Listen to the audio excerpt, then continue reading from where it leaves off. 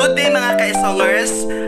For this vlog, ipasindayaw natin ang probinsya ng Apayao, ang bayan ng Putul. Ano pang ginagawa natin?